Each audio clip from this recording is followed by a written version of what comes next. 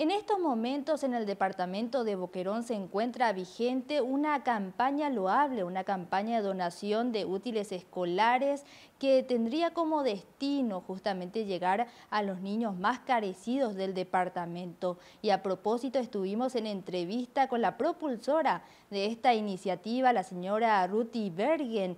Ella es primera dama departamental de Boquerón. A continuación escuchemos qué era lo que nos decía. Estamos haciendo ahora una campaña de eh, justamente de materiales para la escuela. Hay muchos niños pobres que necesitan eh, de los materiales y eh, yo sé también que seguramente en las casas de muchas personas hay materiales usados que ya no necesitan más. Entonces me ocurrió esta campaña, lanzar esta campaña para juntar materiales para donar a los eh, que necesitan. ¿Y hasta cuándo tenemos tiempo de poder donar estos materiales que vemos que pueden ser cuadernos, lápices, agendas? Eh, lanzamos esta semana esta eh, campaña y va a llegar o vamos a tener hasta el 29 de, de febrero, hasta el fin de mes vamos a juntar y em, después vamos a repartir. ¿Cómo harían la, distribución, la repartición? ¿Irían hasta las, las comunidades o, eh, digamos, hasta las instituciones, hasta los colegios, las escuelas?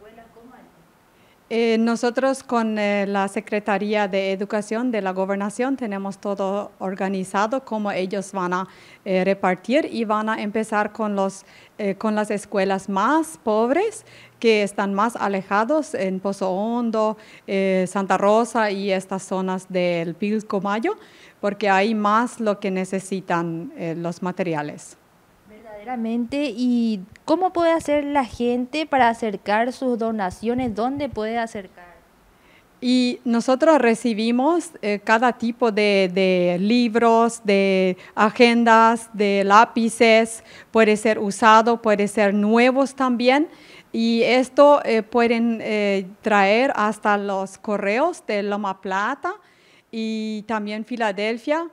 Eh, y en Neuland vamos a tener ahí en la boutique Schusi de em, Susi Neufeld.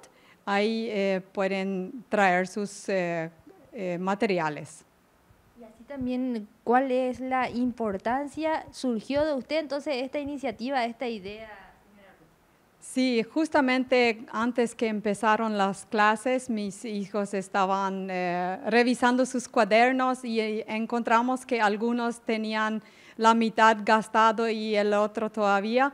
Entonces, em, yo de corazón no puedo tirar un libro así, eh, pensando en, estos niños que van a ser felices de recibir este papel. Entonces, para que la gente no tire estas cosas, porque eh, hay muchos niños que de verdad eh, van a ser felices con, con cuaderno, con lápices, con, puede ser eh, unos, lo que se usa en, en la escuela. Y de esta manera escuchábamos las palabras de la primera dama departamental de Boquerón en lo que refiere a esta iniciativa bastante loable que estamos seguros que va a poder llegar a muchos niños carenciados del departamento. Y esperamos también, aprovechamos la ocasión para extender esta invitación eh, para todos los televidentes que nos están viendo ahora para que puedan acercar sus donaciones a los diferentes puntos habilitados. Para la RCC informó Juana Duarte. RCC Noticias llega gracias a Cooperativa Chortizer, Cooperativa Fernheim, Cooperativa Neuland, FECOPROD, Inverfin Record Electric, Grupo Ilagro, Chacomer Automotores, Classic Motos,